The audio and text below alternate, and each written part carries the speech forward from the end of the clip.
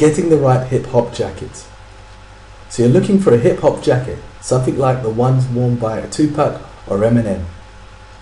So the first thing you have to find out is what team your artist supports, because getting the wrong team will seriously damage your street cred.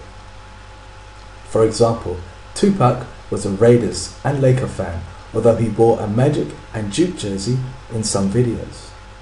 Jay-Z is part owner of the New Jersey Nets, so that one's easy. So now you know what team to go for, you've got to get your hip hop jacket in the right colour and style.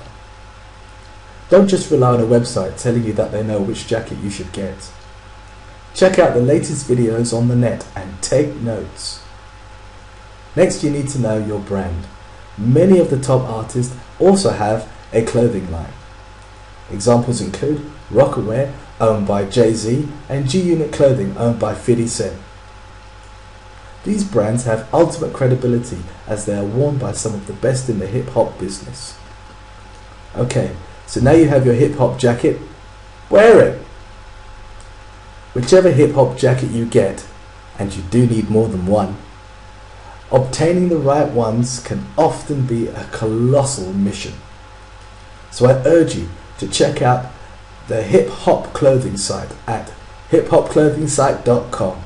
It has all the brands and all the news. It's the ultimate.